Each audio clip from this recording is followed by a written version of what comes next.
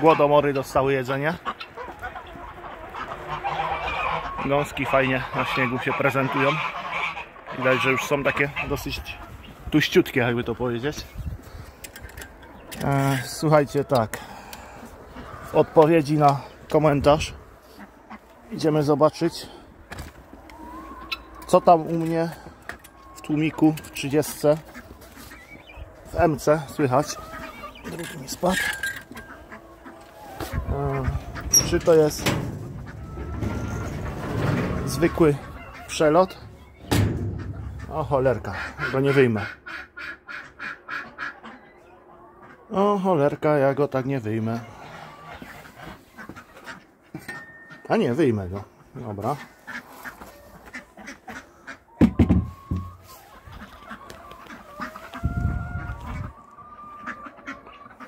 Nic nie widać. Tak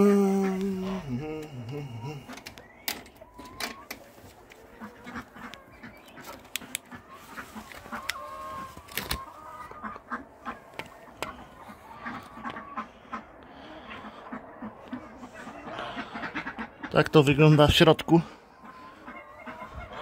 Przelotu nie ma.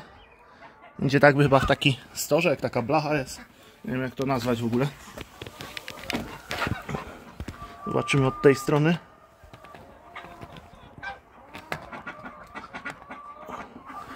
Tak samo. Przelotu nie widać. Jeszcze raz. Skupi mi telefon. No. Czyli w tłumiku, słuchajcie, w 30 coś tam jest. Odkładamy. No. Także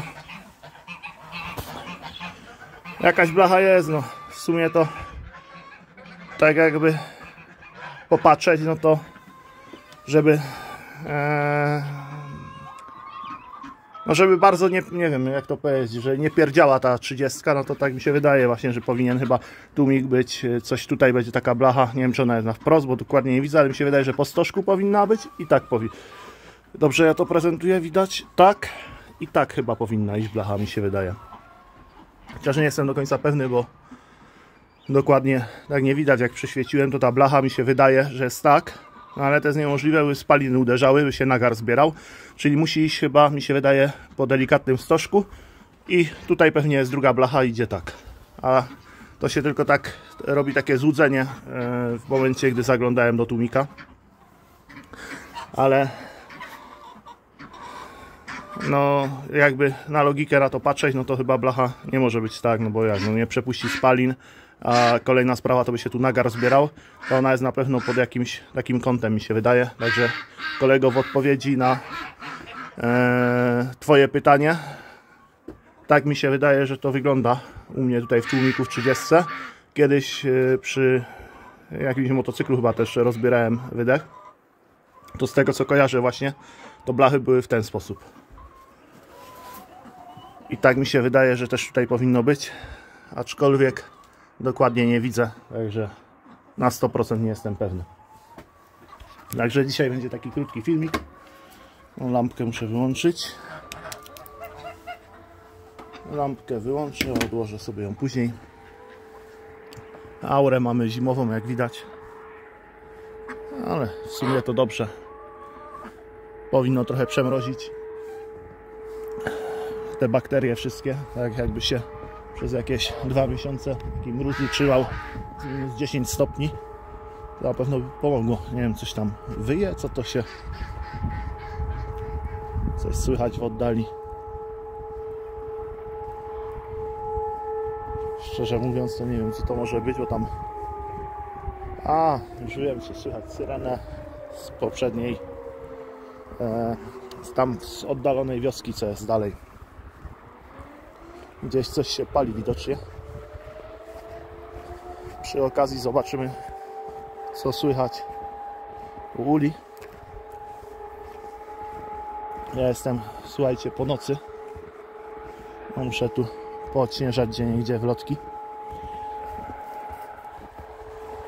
Jakieś martwe osobniki pojedyncze tu widać, no ale to jest normalne. Wiadomo, że pszczoły Jak są albo stare, albo schorowane, to z reguły jakaś ich tam część, bo nie wszystkie wylatują z ula. No tak to powinno wyglądać. E, słuchajcie, ja tradycyjnie chciałem Was zachęcić do dawania łapek w górę bądź w dół, jeżeli się komuś nie podobało. Zachęcam nowe osoby do subskrybowania mojego kanału, zachęcam do pisania komentarzy. E, sami widzicie, jak tylko jestem w stanie, no to zawsze odpowiem na komentarz, coś nagram. A z tym tłumikiem to sam do końca nie byłem pewny, jak to u mnie w 30 wygląda. Szczerze mówiąc, dawno tam nie zaglądałem, bo nie było potrzeby, no nie? No. Ja się żegnam z Wami i zapraszam do oglądania. Trzymajcie się, cześć, hej.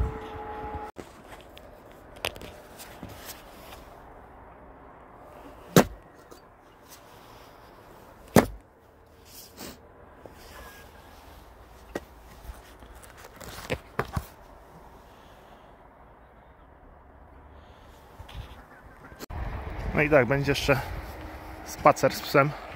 Taki bonusik. Przy okazji chciałem jeszcze jeden temat poruszyć.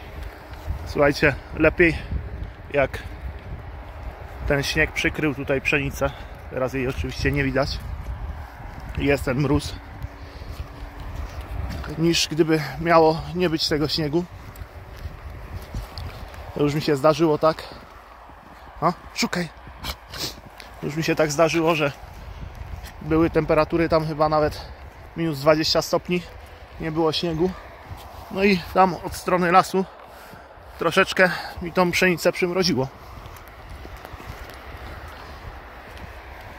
Także ja się z tego cieszę, że ten śnieg spadł. Takie warunki są najlepsze, jeżeli mają być, załóżmy, tam dosyć duże minusowe temperatury. No to najlepiej jak ten śnieg, żeby ten śnieg był po prostu na tym polu. Zresztą to chyba dla, dla wszystkich roślin które mają problem z przetrwaniem, tam jakieś duże minusowe temperatury, no to śnieg tworzy taką izolację, osłania od tych wszystkich wiatrów i wychodzi to jak najbardziej na plus. Dlatego jeszcze raz podkreślę. Hop! Jak sarenka. Pomalutku. Że jestem zadowolony z tego, że ten śnieg spadł.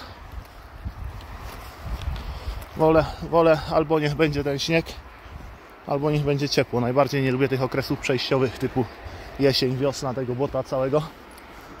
A tak jest, powiedzmy ok. Wiadomo, tam jakieś duże, bardzo minusowe temperatury, minus 20 też dokucza.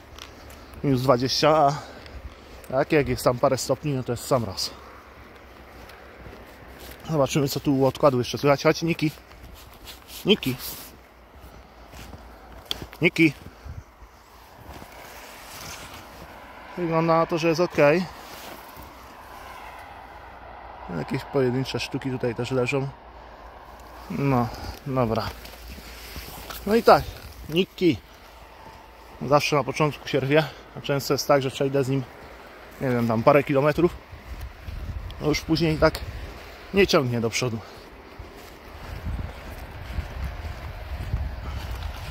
No, jest zadowolony. No.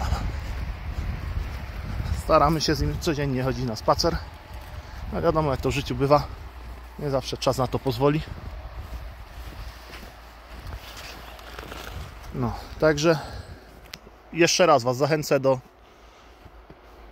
dawania łapek w górę, do subskrybowania mojego kanału i do pisania komentarzy. Tak jak sami widzicie, jak ktoś mi coś tam napisze, to jestem staram się to sprawdzić i ewentualnie, jeżeli mogę, no to odpowiem. W tym przypadku na przykład nagrałem filmik, jak to tam u mnie wygląda w tej mojej 30. Nie ukrywam, chciałbym w przyszłości kupić jeszcze jakiś większy traktor. No ale to chyba będzie jakaś odległa przyszłość. Zobaczymy. Dobra, słuchajcie, idę dalej, bo on się już niecierpliwi. Żegnam się z Wami jeszcze raz. Trzymajcie się, cześć, hej.